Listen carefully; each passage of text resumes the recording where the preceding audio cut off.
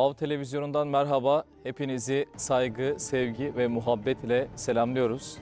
Kıymetli dostlar, İslami değerlerimizi bir sohbet havasında anlatmaya çalıştığımız kürsü programında sizlerle birlikteyiz. Çok kıymetli iki hocam var. Çatalca vaizi Doktor Muhammed Masum Vanlıoğlu hocam. Kıymetli hocam hoş geldiniz. Hoş bulduk. Teşekkür Nasılsınız? ederim. Elhamdülillah. Siz de iyisiniz. Sağlığınıza duacıyız. Siz artık ev sahibisiniz hocam. O yüzden öncelikle size hoş geldiniz diyorum. Çünkü beraber misafirimize hoş geldiniz diyelim diye. Evet. Şişli İlçe Müftüsü Tahsin Aydın hocam. Kıymetli hocam hoş geldiniz. Hoş bulduk. Teşekkür ediyoruz. Nasılsınız? Allah razı olsun. Sağ olun. Saygılar sunuyoruz. Allah daha da iyi etsin hocam inşallah. Allah razı olsun. Kıymetli hocam sizlerle birlikte kabir adabı konusunu işledik. Ancak tabii kabir konusu o kadar geniş bir konu ki hani ne kadar işlesek de bitiremeyiz. Dedik ki bunu devam ettirelim. Biraz öncesine gidelim. Kişinin kendini ölümü hazırlamasına, işte son nefesini vereceği andaki e, o an nasıl bir hazırlık yapması gerekiyor, yıkanması, defin aşaması bunları konuşalım istedik. Ben önce Masum hocamla başlamak istiyorum. Şimdi kıymetli hocam, ölüm öyle bir şey ki herkese ansızın gelip çatacak. Ee, bir gün biz de o kabre konacağız. Önemli olan gök kubbede ne bıraktık, nasıl bir iz bıraktık? Bu bizim için önemli. Peki kişi kendini ölüme nasıl hazırlamalı? Tabii burada değerli izleyicilerimizin de yakinen bildiği ve gördüğü bir hadisi şerif metniyle başlayalım. Sevgili Peygamberimiz Aleyhisselatü Vesselam'ın hadislerinden bize aktarılan ve Eyüp Sultan Camii'nin girişinde caminin kapısının yani Eyüp Sultan Hazretleri'ni şöyle e, arkanıza alırsanız, kıble yönünüze alırsanız cami girişinde sağda ve solda şu ibareleri görürsünüz. Accilu bis salati kablel fevt ve accilu bit tevbeti kablel mevt. Namaz vakti geçmeden namaza koşun. Yani namazı kaçırmayın. Ölüm gelmeden de tevbeye koşun. Şimdi bu çok manidardır. İnsanı teşvik eder, insanı yönetir. Ayetlerin ve hadislerin ışığında insana muhteşem ruh veren bir ifadedir. Evet. Yani ölüm gelmeden önce tevbeye koşunuz. Bunun karşılığı şudur. Ey Müslüman, bu ölüm sana kesinlikle gelecek, sen de bunu biliyorsun. Bunu çok iyi bildiğin halde kendini eğer disipline edebilme noktasında bir kısım sıkıntıların varsa, daha ayakta iken, yürürken, yatağa düşmeden, sağlıklı iken bunun hesabını yap.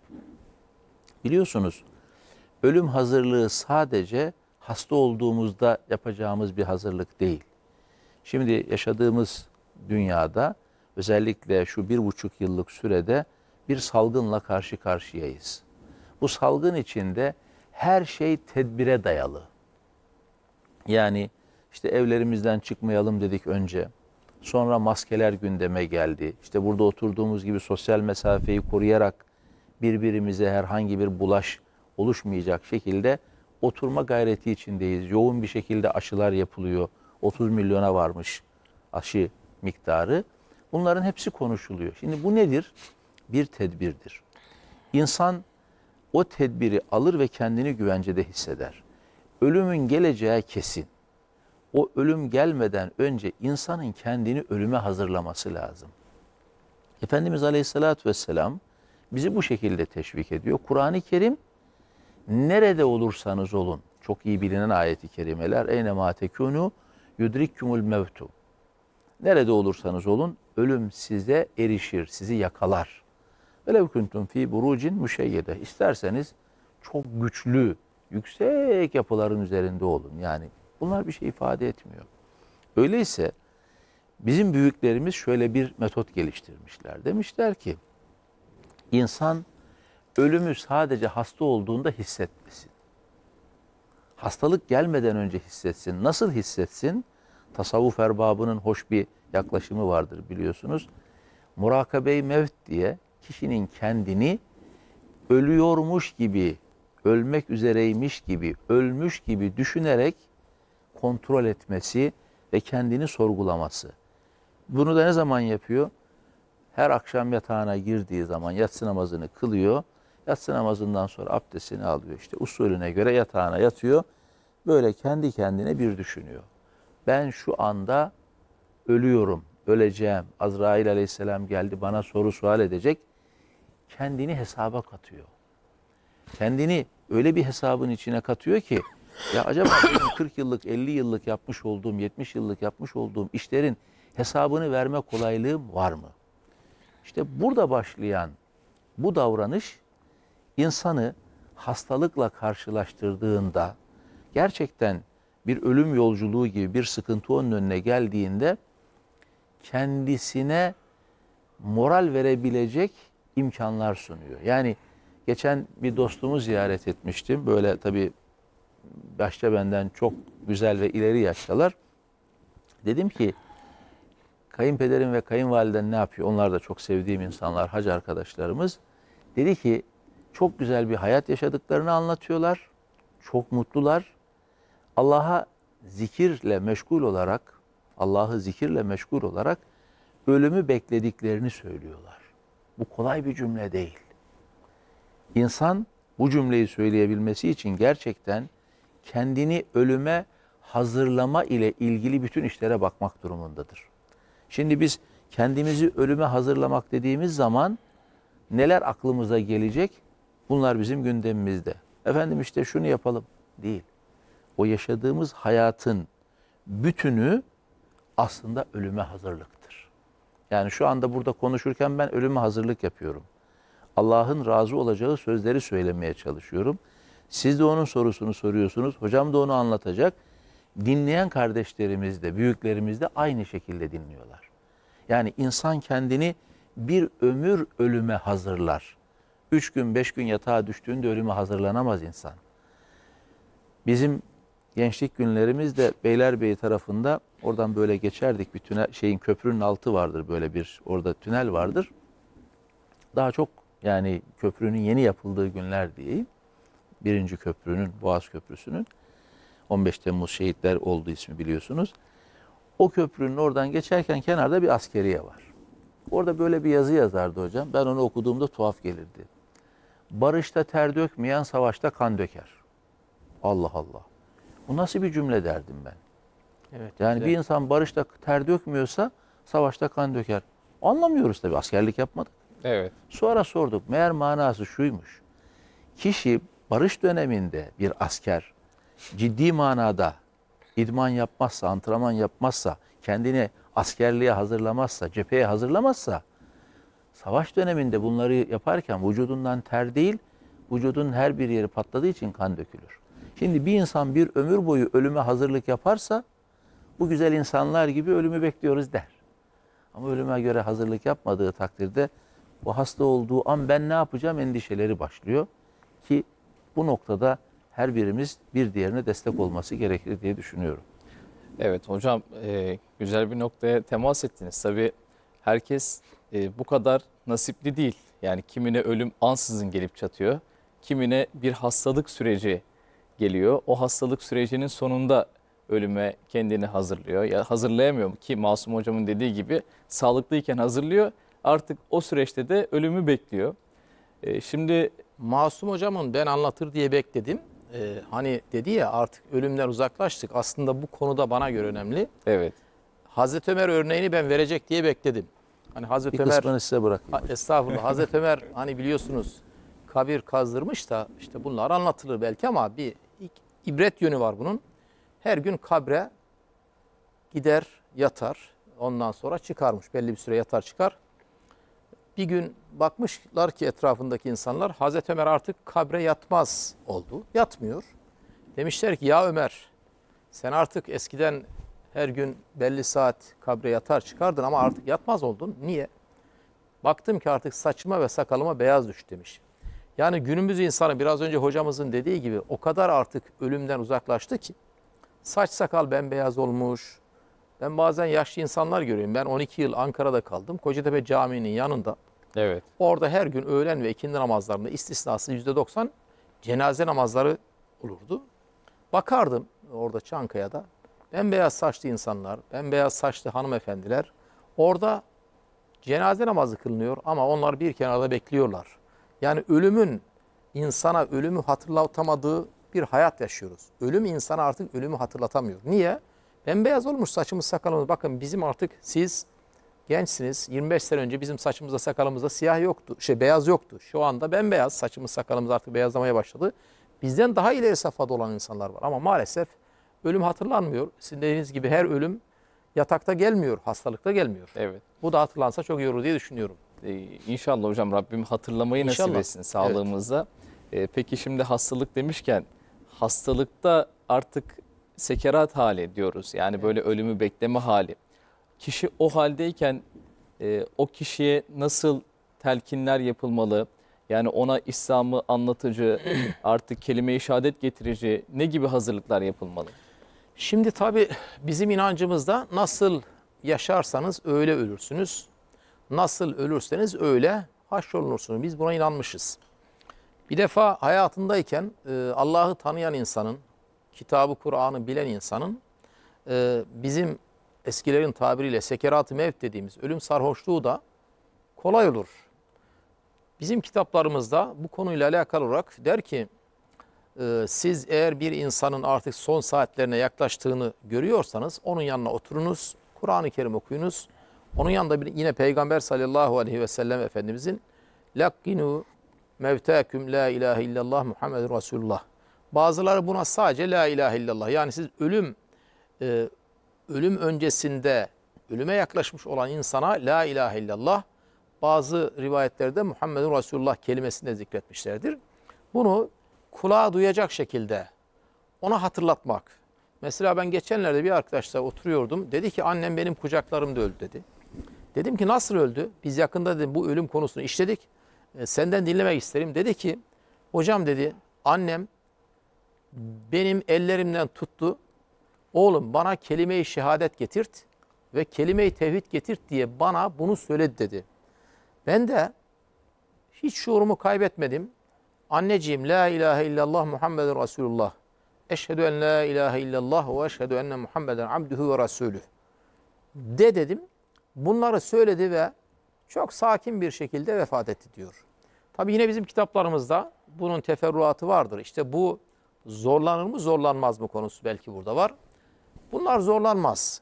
Zaten biraz önce söylediğimiz gibi eğer bir insan mümin bir hayat yaşamışsa, mümine bir hayat yaşamışsa, iman edilecek şeylere toptan, icmalen veya tafsilen eski tabirle ayrı ayrı veya toptan iman etmişse, o şekilde bir hayat yaşamışsa, sekerat-ı mevt halinde ölüm sarhoşluğu kendisini bulduğu zaman, yani yavaş yavaş biliyorsunuz insanların ölümü de e, can, ruh, vücuttan önce ayaklardan başlarmış. Biz görevimiz gereği e, birçok e, vefat edecek olan insanın başında Kur'an-ı Kerim okuduk. Onların başında bulunduk. Ayaklarından insan soğumaya başlar. Yavaş yavaş dizlere gelir. Dizlerden sonra göbeğe kadar. Oradan sonra nefes, ruh bir vücuttan çıkar gider. Onun için orada biz onu yavaş yavaş okursak inşallah e, bizim inancımıza göre, e, İslam inancına göre o kişi kelime-i şehadet getirerek yine Peygamber sallallahu aleyhi ve sellem kim kelime-i tevhide iman ederse o kişi mümindir diyor. Biz onun mümin olarak e, öleceğine inanırız. Biz böyle İnşallah. inanıyoruz. İnşallah. Ee, Masum Hocam, Tahsin Hocam şimdi tabii kişinin son nefesini verme aşamasını anlattı. Peki kişi son nefesini verdi diyelim. Verdikten sonra ne tür hazırlıklar yapılmalı? Şimdi son nefesine isterseniz bir daha o tarafa dönelim. Şöyle bir şey daha eklememiz olursa iyi olur. Bir kimsenin e, hastalık süreci biliyorsunuz insanların en çok destek ihtiyacı hissettiği süreçtir. Hocamın ifade ettiği gibi e, bir insan yatağa düştüğünde veya yatağa düşmeden belli hastalıklarla imtihana tabi tutulduğunda o insanın çevresindekilerin ona destek olması gerekiyor. Sevgili Peygamberimiz Aleyhisselatü Vesselam'ın hadis-i şerifte ifade buyurduğu gibi Müslümanın Müslüman üzerindeki sorumluluklarından biri de hasta kardeşini ziyaret etmesidir. Hasta kardeşi ziyaret ettiğimiz zaman onun başını ağrıtmayacak şekilde, ona şifa dilemek suretiyle, onu yormayacak şekilde, bir de ona moral verecek şekilde gitmemiz gerekiyor. Gerçekten insanlar ölüm hastalıkları içinde kıvranıyorlar. Yanlarında kimse olmuyor. Özellikle bu salgın sebebiyle pek çok kardeşimiz yalnız bir şekilde Yüce Rabbimize gittiler. Onların yalnızlığını gidermek için belki buradan ilgili kişilere de seslenmemiz gerekiyor. Yoğun bakım ünitelerinde bu yalnızlıkları giderebilmenin çarelerini bulmalıyız. Yani bunu nasıl çözebiliriz? Bu konuda fikir üretmeliyiz. Mimarlarımız çalışmalı. O noktada doktorlarımızın teşvik edici davranışları olmalı ve burada çok önemli bir işi başarmalıyız. Bir insan ebediyet yolcusu olmak üzere bizim gözümüzün önünde görünüyorsa, doktorlarımızın, hekimlerimizin ifadesiyle ona artık bu hastalığın onu Yüce Rabbimize kavuşturacağı düşünülüyorsa, bu kardeşimizi biz mutlaka yaşayacak olduğu kala- kalan süresi içinde Allahü Zülcelal'e hazırlama gayreti içine girmeliyiz.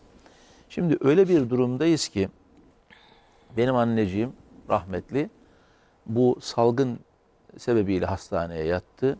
Oradaki doktor arkadaşlar gerçekten ellerinden gelen bütün hizmeti sundular. Hastanenin de yoğun bakım üniteleri son derece mükemmel her yönüyle. Fakat orada bir yalnızlık var. Niye yalnızlık var? Evet, orada yalnız. İşte anneannem, anneciğimin hassasiyetleri vardı. Ben girdim yanına sağ olsunlar bana onu hani ona moral vermek için Evet. bir şeyler anlatmamı benden istediler. Girdim yanına. Annemin iki hassasiyeti vardı. Biri hayatı boyunca başını hiç açmamış bir hanımefendi başını örtmemi istedi. Biraz eksik örtüsü vardı. Diğeri vücudunda açık bir yer varsa onları örtmemi istedi. Bir de nasıl namaz kılacağını bana sordu. Şimdi bu çok önemli bir konu. Çünkü o hasta artık mesela ben ona inşallah iyileşeceksin seni çıkaracağız falan dediğimde oğlum ben gideceğim dedi. Hiç olmazsa giderken yaşadığım gibi gideyim dedi bana. Bu çok önemli bir şey.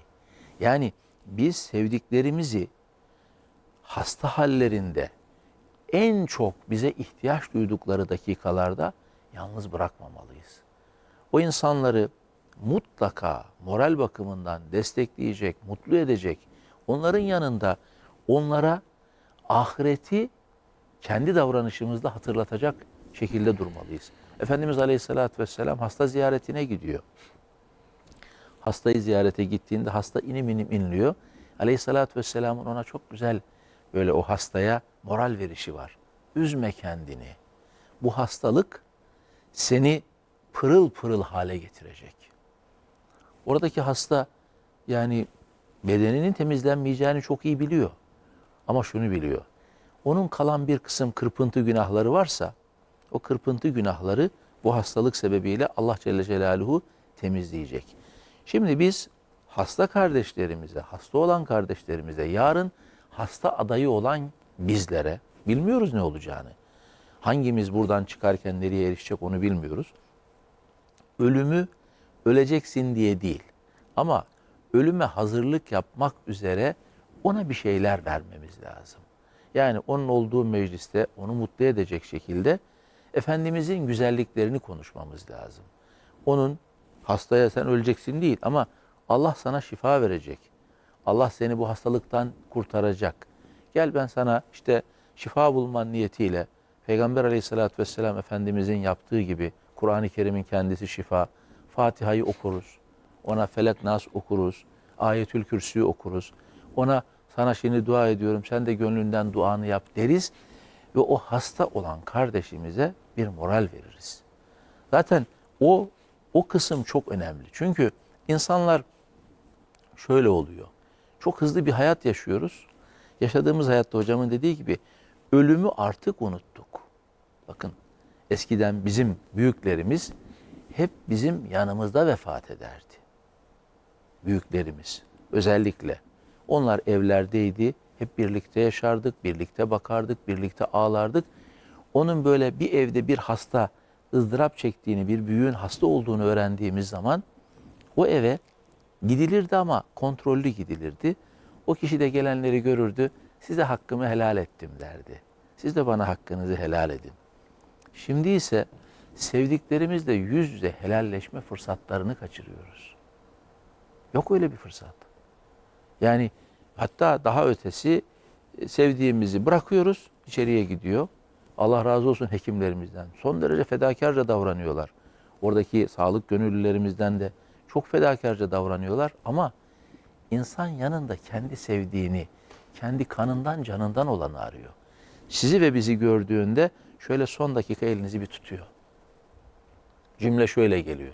Hocam ifade etti hani biz hoca olduğumuz için hep böyle dostlarımızın yanına gittik. Elimizi şöyle tutuyor. Hiç unutmuyorum.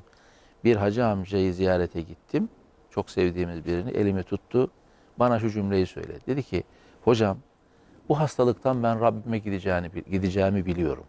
Ama şunu bil ki ben hayatım boyunca hep onun rızası için yaşadım.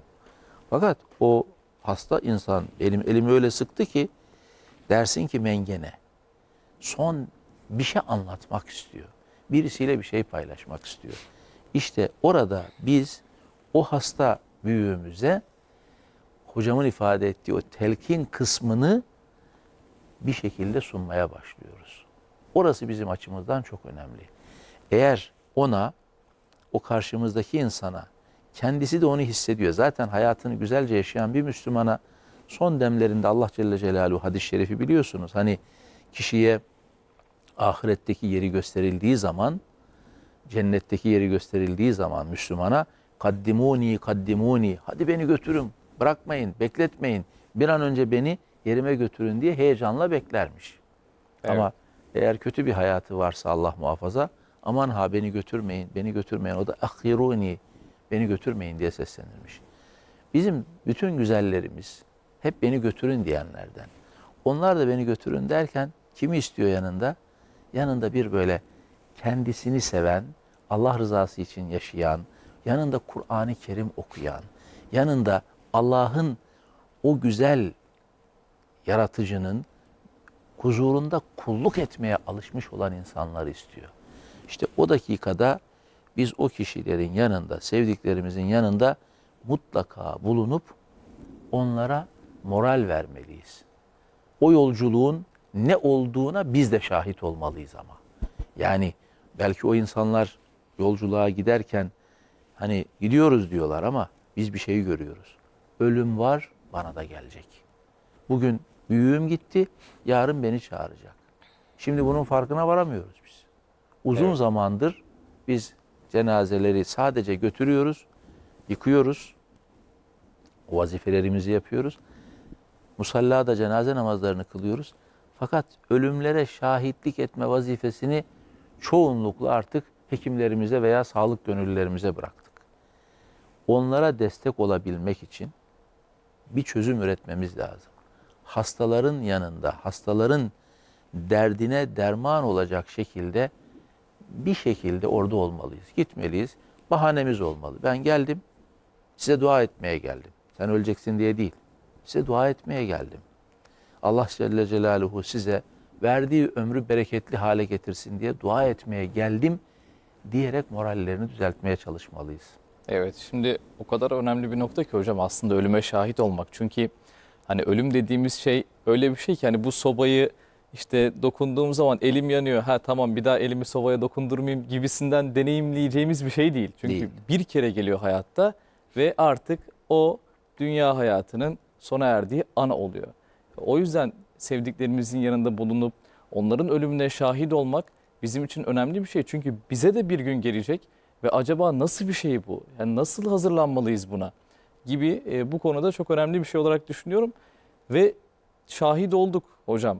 Artık işte sevdiklerimizin o ölüm anındaki e, son belki görüntüleri aklımızda kaldı. E, son nefesini verdiği an aklımızda kaldı. Şahit olduktan sonra o kişi son nefesini verdi diyelim Tahsin Hocam. Evet. E, neler yapmamız gerekiyor o esnada? Tabii bizim İslam inancında diğer dinlerden farklı olarak bir defa bunu belki gençlerimiz biraz önce söylediği gibi hocamızın eskiden e, büyük aileler vardı, babaanneler vardı, dedeler vardı. Hatta daha büyük, üç, üç kuşak bir arada yaşardı.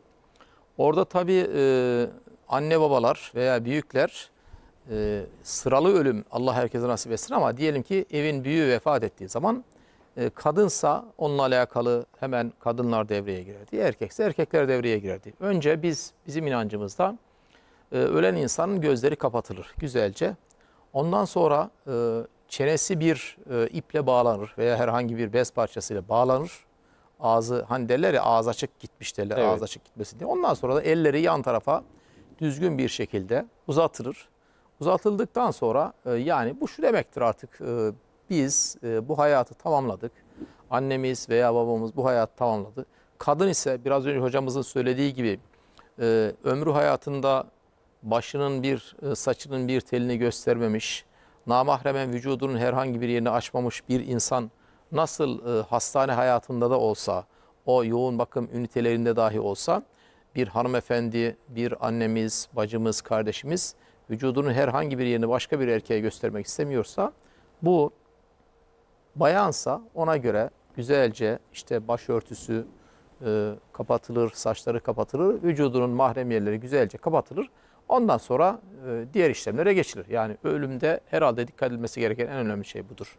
Bunu bizim gençlerimiz belki bilmiyor olabilir ama en azından bizi dinleyen kardeşlerimiz aniden bazen böyle olabilir. Yani annesi beklemediği bir anda, babası beklemediği bir anda e, ölebilir. Yani biraz önce hocam anlattı. Siz nerede olursanız olun ölüm sizi mutlaka bulacaktır. Velev kuntum fi burucin müşeyyede. İsterseniz kalelere çıkın, burçlara çıkın, en yüksek yerlere çıksanız dahi ölüm gelecektir. Onun için gençlerimizin e, özellikle bunu bilmelerinde, çekirdek ailelerin bunu bilmeleri konusunda e, biz bu uyarıyı yapmış olalım. Bu önemli diye düşünüyorum. Peki Ayakları bağlanacak, Evet. güzel şey- bu şekilde hazırlanacaktır ölüm. bu zikrettiğiniz uygulamalar bizim Hazreti Peygamber'den öğrendiğimiz uygulamalar mı? Yani yoksa kişinin işte cesedi orada görenler açısından kötü bir görüntü oluşmasın diye mi? Hani örf ve adete dayalı uygulamalar. Şimdi bizim örf ve adete dayalı, dayalı olan uygulamalarımızın hepsinin temelinde Resulullah'ın hadisleri yatar. Bizim atasözlerimizde, bizim hatta türkülerimizde, şarkılarımızda bile İslam kültürünün etkisi vardır. Bugün ben bir yerdeydim. Orada şöyle bir, orada bir il müftümüz vardı, kaymakamlarımız falan vardı. Şöyle bir konu gündeme geldi. Hani insanın ocağına incir ağacı dikmek tabiri vardır. evet. Ben dedim ki buna bir arkadaş karşı çıktı. Dedi ki bu dedi manevi bakımdan çok doğru bir söz değil dedi. Ben de dedim ki eğer bu söz bizim kültürümüze girmişse bunun mutlaka bir geçmişi vardır. Veya mutlaka bunun bir dedim geçerli bir şeyi vardır. Yoksa incir helal bir meyve. İnternete girip bakalım dedik. Beraber internete girdik baktık. Diyor ki incir ağacı öyle bir köklü ağaçtır ki siz onu bir yere bir evin diyor yakınına dikerseniz evin duvarlarını varıncaya kadar çatlatır. Eğer bir başka meyvenin yakınına dikerseniz o meyveleri kurutacak şekilde kök salar. Buradan şuraya geleceğim. Sizin dediklerinizin hepsi bizim örf adetlerimizde de 1400 yıllık örf adetlerimiz bizim örf, örf adetlerimiz İslam kültürüne dayanır. Ya bir ayete dayanır ya bir hadis-i şerife dayanır. Mesela ben çok merak ederdim. Yani bizim hadis-i şeriflerimizde geçiyor mu geçmiyor mu diye hocamla beraber tabii yıllarca kürsülere çıktık. İşte ne yapıyoruz? Tanımadığımız bir insanın başına gidiyoruz. İmam Efendi diyor ki bu mevtayı nasıl bilirsiniz? Bu merhumu veya merhumeyi nasıl bilirsiniz? Ne diyoruz biz? İki şey söylüyoruz. Ya iyi biliriz diyoruz ya da Allah rahmet eylesin diyoruz. Tanıdığımız birisi ise iyi biliriz diyoruz. Tanımadığımız birisi ise mümin olduğunu biliyoruz. Cenaze namazı kılacak. Allah rahmet eylesin diyoruz. Peygamber sallallahu aleyhi ve sellem uygulamasıdır bu. Bunların tamamının ben Peygamber sallallahu aleyhi ve sellemin uygulamasına dayandığını, bizim örf adetlerimizin temelinde Resulullah'ın sünnetinin olduğunu düşünüyorum. Evet. Ee, hocam şimdi tabii ölüyü bekletmemek lazım. Hani vefat ettikten sonra onu mümkün olduğu müddetçe gömmek lazım. Hatta bu konuda Hazreti Peygamber'in de bir hadis-i şerifi var. Ee, şimdi Tahsin Hocam bahsetti. Ba- Çenesi bağlanıyor, işte ayakları bağlanır, kolları yana sarkılır dedi. Şu an günümüzde mesela öldükten sonra kişi morga kaldırılıyor ve cenaze namazı işte bir sonraki gün ya da iki gün sonra kılınıyor. E, bu ne kadar doğru bir davranış Masum Hocam? Şimdi burada tabii önemli bir nokta var. Ee, hocamın temas ettiği kısma tamamlayıcı olması için söylüyorum.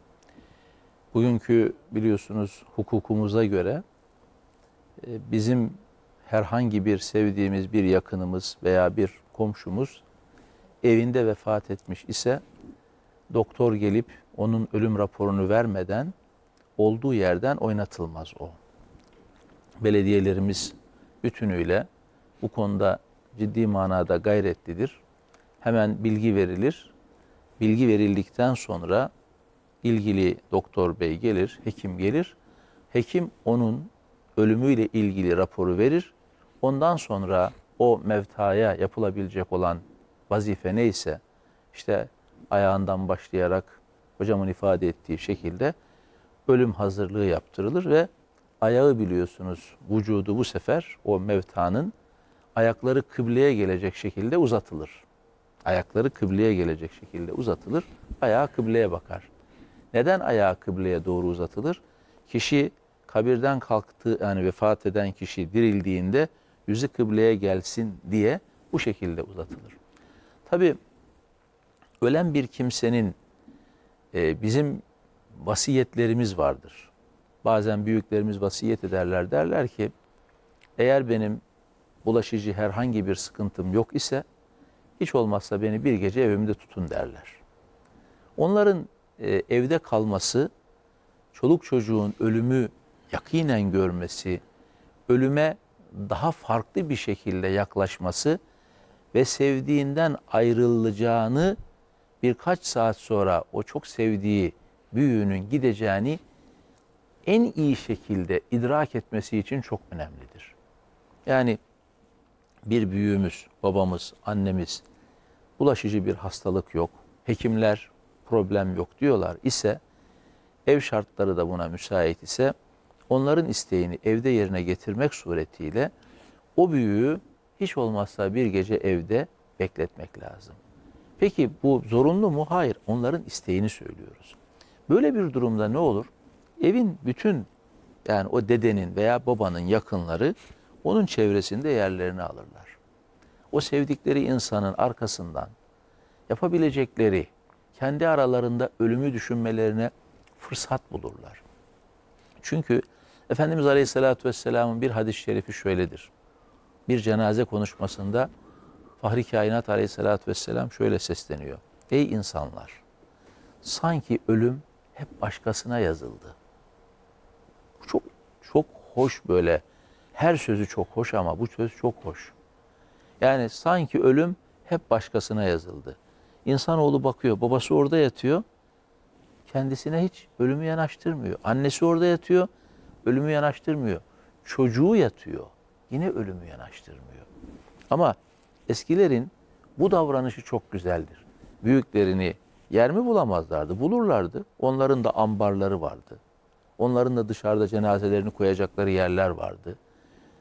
Ama bizde şöyle bir şey vardır. Eğer biz Efendimiz Aleyhisselatü Vesselam'dan şunu öğrenmişizdir. Ölü ile diri arasındaki fark biri sizi duyar cevap veremez, diğeri sizi duyar cevap verir. Ölü bizi duyar cevap veremez. Diri ise duyar ve cevap verebilir. Onun için cenazelerimizi biz sanki diri gibi görürüz. Sevdiklerimiz vefat ettiğinde diri gibi görürüz. Eğer tıbbi bir engel yok ise, eğer salgınla ilgili bir problem yok ise onları mutlaka uygun olan bir ortamda bizim de ölümden ibret al almamıza vesile olacak olan bir ortamda tutmaya çalışırız. Mesela bizim aile büyüklerimizin vasiyeti şöyleydi. Bir gece olsun evde kalayım. Ama en yakın zamanda defnetme gayreti içinde olmalıyız. Yani şöyle mesela bir dostumuz vefat etti. Dediler ki bunun falanı falanı üç gün sonra gelecek. Kaç kişi? Bir kişi. Ya kardeşim bir kişi için üç gün sonraya cenaze bekletilmez. Mevta güzel bir insan. Bu insanın bir an önce yerine ulaştırılması lazım. Biliyorsunuz mesela Hicaz'a gittiğimizde görürüz. Eskiden köylerimizde de böyleydi. Eskiden köylerde mesela dün diyelim ki bugün bir kimse vefat ederse ertesi gün sabah saat 9'da cenaze namazını kılarlardı. Büyük şehirlerde ise insanların katılabilmesi için bu salgın öncesinde cenaze namazları işte hocamın ifade ettiği gibi işte büyük camilerde öğlen veya ikindide cemaatin toplanması için biraz geciktirilir. Ama iki gün, üç gün bunlar doğru olmuyor. Belki cenazenin yakınları onların da gelmesini istiyor. İşte uzakta olan kişinin de katılmasını arzu ediyor ama eğer ölen kişinin oğlu veya kızı gibi böyle çok yakını değilse bekletmek doğru değil. yine o kişilerin gönülleri kırılmayacaksa, hani uzakta olup da ben cenaze namazına yetişemedim diye bir kırgınlık doğurmayacaksa yine bekletmek doğru değil. Cenazeyi bir an önce Mevla'nın belirttiği şekilde, Efendimiz Aleyhisselatü Vesselam'ın öğrettiği şekilde kabre koymamız lazım. Tabi onu niçin kabre koymaya hareket, acele ediyoruz? E herkes yerine gidecek. Biz burada peki ölümden mi kaçıyoruz? Hayır. Cenazeyi şimdiki şartlarda zorunlu haller gibi artık oldu. Mevta morgda bekliyor. Cenaze morgda bekliyor. Geri kalan insanlar bekliyor ki iki gün sonra gidelim cenazeyi alalım. E onun yeri kabir. Onu morgda bekletmek yerine yerine ulaştırmak lazım. Bu noktada elhamdülillah çok güzel çalışmalar yapılıyor. İnsanımız da bu işe ehemmiyet veriyor ve sevdiklerimizi güzel bir şekilde yolcu etmeye çalışıyoruz. Tabi sevdiklerimizi yolcu etme gayretimiz sadece ölümleriyle birlikte değil. Onların ölümünden ibret alarak yolcu etmeye çalışıyoruz. Yani daha önceki konuşmamızda hani mezarlık ziyaretiyle ilgili konuşurken hatırlarsanız hocam hatırlatmıştı. Artık şehir içinde mezarlıklar kalmadı Evet. demiştik. Şimdi şehir içinde ölüm de kalmadı. Onun için cenazeleri görmek, cenazelerden ibret almak. Hani cenazenin yüzüne bakılır mı diye soracaklar. Cenazenin yüzüne bakılır bir problem yok. Peygamber aleyhissalatü vesselam Efendimiz'i hazırladıkları zaman kabre, Efendimiz aleyhissalatü vesselamın yanına geliyor Hazreti Ebubekir Efendimiz. Şöyle alnını açıyor. Alnından öpüyor. Hazreti Peygamber aleyhissalatü vesselamı. Ve orada şöyle diyor. Tıpte hayyen ve tıpte meyyiten. Diriyken de pak idin, tertemiz idin. Ölüyken de tertemizsin ya Resulallah diyor sallallahu aleyhi ve sellem. Yani insanlar sevdiklerini yine söylüyorum salgın yoksa, herhangi bir bulaşıcılık yoksa sevdiği yıkandıktan sonra onu alnından öpse bir sıkıntı olmaz. Onunla orada son bir kez ya öldü bak gidiyor Rabbime gidiyor. Ben artık onun arkasından onun arkasından ölümden ibret alan bir kişi olmalıyım şuuruyla bakmamız gerekiyor dostlarımıza. Eğer bunu başarabiliyorsak gerçekten o hastayı ölüme hazırlama aşamasından vefat eden ölüyü kabre götürme aşamasına ama her iki aşamada da ben kendimi ölüme hazırlıyorum'a geliriz. Çünkü niye hasta ziyaret ediyoruz? Hastalıktan kurtulmak için. Niye ölüyü kabre götürürken bakıyoruz? Bize de ölümün geleceğini unutmamak için. Bütün mesele zannediyorum burada. Yani biz şöyle düşünüyoruz. Ölüleri yıkayalım götürelim. Hayır bu bir meslek değil. Yani bazı kardeşlerimiz şu anda büyük şehirlerde, gasilhanelerde çalışarak Allah razı olsun pırıl pırıl vazifelerini yapan kardeşlerimiz şu anda hele hepsi muhteşem. Hepsine buradan teşekkür ediyorum. Bu gasilhanelerde görev yapan, mezarlıklar müdürlüğünde görev yapan kardeşlerimize gerçekten muhteşem görev yapıyorlar. Ben senelerce cenaze yıkadım. Onlara bakıyorum. Çok daha güzel yıkıyorlar. Şimdi bu buradaki meselemiz bizim şu. Yani biz bu ölümün ibret kısmını hissedeceğiz. Yoksa efendim cenaze yıkamak bir vazife. Hayır. Yıkadığımız zaman bile orada Efendimizin bize öğrettiğine ölü için rahmet istiyoruz. Ufraneke ya Rahman. Ufraneke. Ya Rabbi senin affına, mağfiretine ısmarlıyoruz diyoruz. Peki onu affa ısmarlayan kişi kendisi için af dilemeyecek mi? Dileyecek işte. Ölümden ibret alabilmek meselenin aslıdır diye düşünüyorum ben. Hocam siz böyle bahsedince benim aklıma Yunus Emre'nin şu sözü geldi. Mal da yalan, mülk de yalan, gel biraz da sen oyalan Öyle. diye. Yani Yani baktığımız zaman hani ne götürebiliyoruz kefenden başka? Hiçbir şey götüremiyoruz yani. O kadar mal, mülk kimseye kalmıyor. Nitekim bize de kalmayacak. Biz de sadece bir kefen götüreceğiz. Tabii Masum Hocam da az önce yıkanma işlemine temas etti hocam Evet. konuşmasının sonunda. Şimdi yıkanma ve kefenlenme nasıl oluyor? Bunu size sorayım. Evet, tabii e, hocamızın da anlattığı gibi artık ölüm kaçınılmaz. Sizin en son ifadelerinizde söylediğiniz gibi. Mal sahibi, mülk sahibi, hani bunun ilk sahibi, malda yalan, mülkte yalan, var, var biraz da sen o yalan. Dünya hayatı bizi tabii çok meşgul ediyor. Gerçekten dünyevileştik ama ölüm bir hakikat. Yani bundan kaçma şansımız yok. Vefat ettiğimiz zaman ister erkek olsun ister kadın olsun bizim kültürümüzde tabii bunlar kefenlenecek. Erkeğin üç çeşit kefen bezi deriz veya e, kefen parçası. İşte bunlar beyaz örtüden, Evet. izar, lifafe, kamis dediğimiz üç parça var. Bunlar tabii biraz önce hocamızın söylediği gibi bizler bunu mesela İmam Hatip liselerindeyken son senelerde bizde tatbikat dersleri olurdu. O tatbikat derslerinde biz arkadaşlarımızı yatırırdık. Bizim meslek dersleri öğretmenlerimiz haydi bakalım işte Ahmet öldü, Ahmet'i bir kefenleyin bakalım derlerdi. E, onlar uygun bir şekilde kefenletirlerdi. Ama ben şimdi bazen hastanelerde biz de onu görüyoruz. Şimdi o hastanelerdeki o kefenleyen insanların kefenlemelerine ben e, hayret ediyorum. O kadar pratik, o kadar pratik, o kadar böyle hızlı ki. Ama bizim bileceğimiz şey şu. Bir defa erkekte üç çeşit kefen e, bezi veya örtüsü vardır. Kadında bu beş çeşittir. İslam kültüründe biliyorsunuz öldükten sonra da e, kadınınki bir de başörtüsü dördüncü parça, beşinci parça da göğüs örtüsü diye bunlar e, güzelce uygun bir şekilde kefenlenir. Kefenlendikten sonra hem baş tarafından hem de ayak ta- tarafından e, kördüğüm demeyelim de ona biz açılabilecek şekilde bağlanır.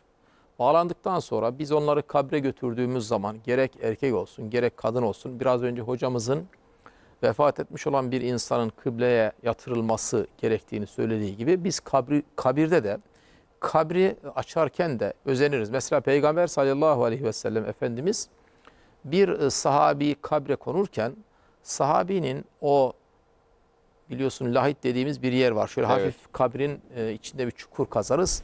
E, Sağ tarafına yatar, e, kafası kıbleye gelecek şekilde biz ölüyü yatırırız oraya. Orada peygamberimiz bir taş görüyor ölünün e, sırtı, sırt kısmında. Hazreti Peygamber sahabeye diyor ki şunu alınız, o taşı alınız. Orada da biz neyi görüyoruz? Yani biz ölülerimize de saygılı olmak durumundayız. Kadın olsun, erkek olsun. Erkeği üç parça, izar lifafe, kamis dediğimiz o bez, beyaz örtüyle sardıktan sonra kabre götürürüz ve kabirde kıbleye dönecek şekilde, yönü kıbleye gelecek şekilde. Bu konuda da bazen zaman zaman tartışmalar da yaşanıyor. Biz mezar kazıcılarımıza da bu bilgileri vermemiz gerekiyor. Yani bugün nasıl e, bir kasap hayvan nasıl kesmesi gerektiğini biliyorsa bizim bazen e, göre yaptığımız yerlerde oluyor. Bazen bakıyorsun mezarların yönü değişebiliyor. Yani kare şeklinde bütün mezarlıklarımız olmuyor. Ama bazen bakıyorsunuz şu bizim oturduğumuz masa gibi buradan başlıyor icabında. Bir bakıyorsunuz ki mezarlar döne döne döne böyle dönmüşler bizim döndüğümüz gibi. Bunlara da dikkat etmek lazım. Onun için e, erkeğinki 3, kadınınki de 5 e, parçadan oluşan bir kefen. E, tabii e, erkek olsun kadın olsun ikinci işlem olarak herhalde yıkaması söz konusu.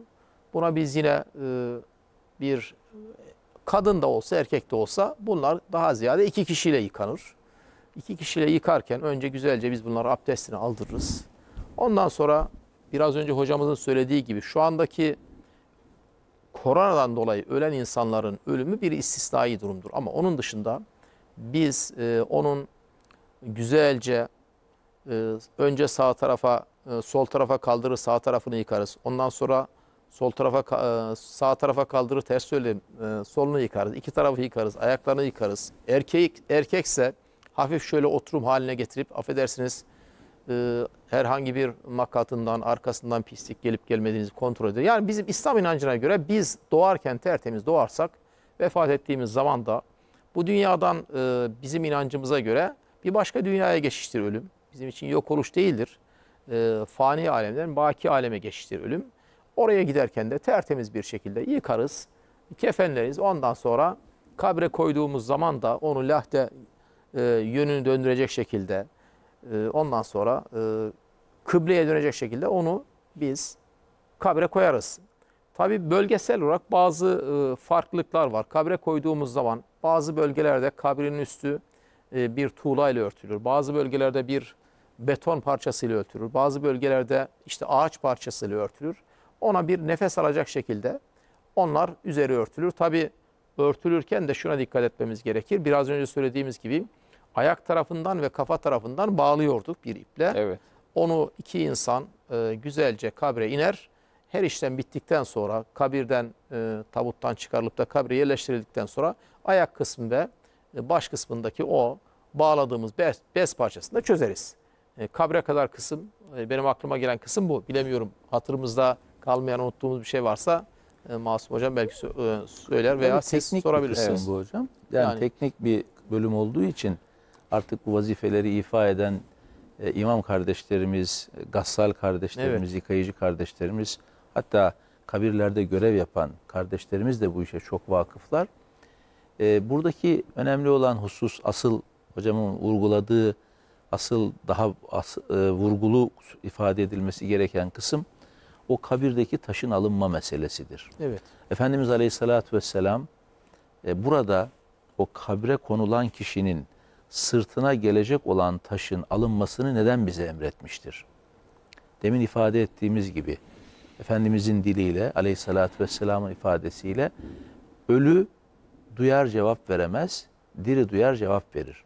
Dolayısıyla vefat eden kişi sıradan, çok af buyurun, sıradan bir leş değildir.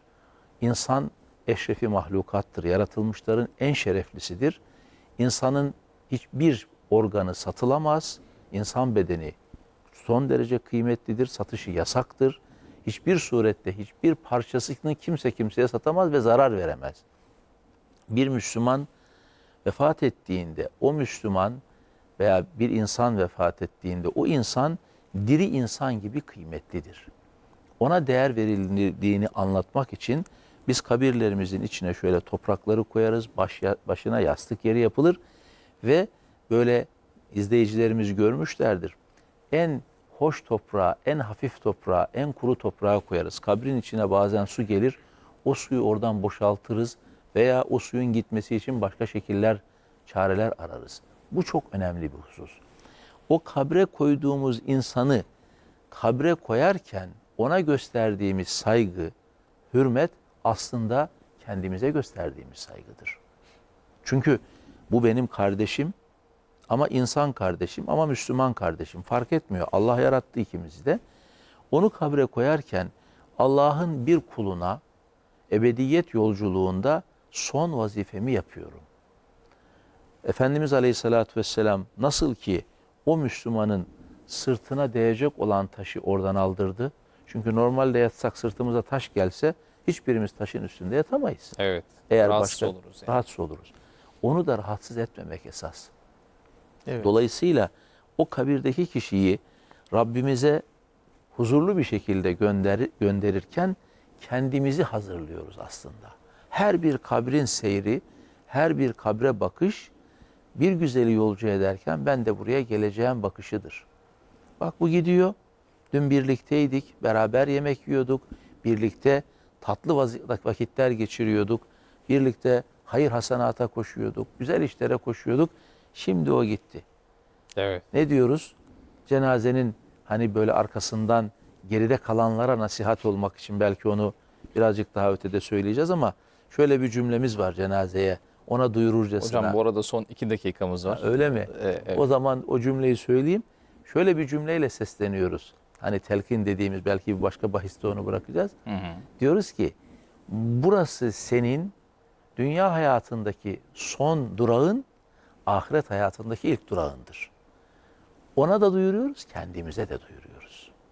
Bu konuyu sonraki bir bahiste inşallah daha geniş söyleriz. İnşallah. Ölümün aslı, ben son bir cümle söyleyeyim. Ölümün aslı, ölen kişi zaten işini, defterini kapattı. Diriye diyor ki, benimle geleceksin sen de bir gün, kendini hazırla. Ya. Tahsin Evet. Hocam sizin de son sözünüzü Son alalım. sözüm unutulmuş olabilir diye aklıma geldi. Hocam hatırlatır dedim. E, tabii kabre indirirken Bismillah ve ala milleti Resulillah demeyi ihmal etmeyeceğiz. Bazen e, bizler de unutuyoruz. O önemli. Yani kabre koyarken gerek iki kişi olsun gerek üç kişi olsun kaç kişi ise en yakınları kabre koyarsa işin en doğru olanı budur. E, Rabbim bizlere ne diyelim son nefesimizde iman Kur'an nasip eylesin. Amin. Hocamızın biraz önce söylediği gibi ölüm e, e, güzel şey odur perde arkasından haber. Necip Fazıl'ın dediği gibi hiç, Hiç güzel, güzel olmasaydı ölür müydü peygamber? Ölüm hepimize gelecek. Rabbim iman Kur'an nasip etsin diyoruz inşallah. Amin. Hocam Allah razı olsun. Cümlemize. Ayaklarınıza sağlık, ağzınıza sağlık. Ee, yani istifade ettik. Ben bilgilendim. Siz sizler anlatırken burada açıkça düşündüm yani. Dedim ki yani bir gün biz de gideceğiz. Acaba nasıl gideceğiz? Yani bu işlemler işlemlerde kendi kafamdan sanki kendim ölmüşüm de bu işlemleri görüyormuşum gibi düşündüm. Onu söyleyeyim. Seyircilerimizin de yani bu programı izledikten sonra şunu yapmalarını isterim. Bir dakikalık da olsa gözlerini kapatıp Tefekkür. şöyle bir ölüm tefekkürü. İşte son nefeslerini verdiler, yıkanıyorlar, kabre giriyorlar. Münker ve Nekir geldi, sorgu melekleri orada hesaba çekiyor. İşte ne diyecekler onlara? Bunları düşünmelerini e, istirham ediyorum diyelim. Ee, Allah razı olsun. Çok Size. teşekkür ederiz. Teşekkür ederiz. Değerli dostlar, Kürsü programının bugünkü bölümünün sonuna gelmiş bulunmaktayız. Tekrar görüşünceye dek Allah'a emanet olun.